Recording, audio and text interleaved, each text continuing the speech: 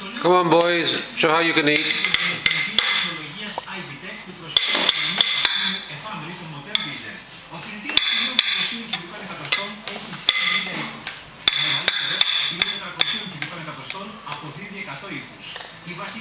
Don't play with your food, Raymond Dooley. Oh, okay, you can use your hands. Oh, look, Maxime. He's clever boy. Clever boy. Eating on his own with a spoon. Yes, he's a clever boy.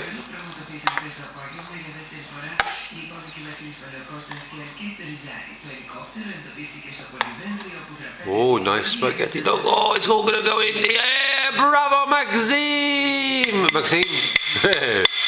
oh, it's good, eh? Ah, it's good. Raymond Doolitz prefers the hand method. Eating, not playing. Eating, not playing. You're spraying me, you little plonker.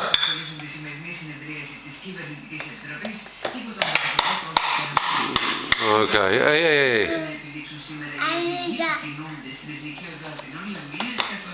Bye, boys.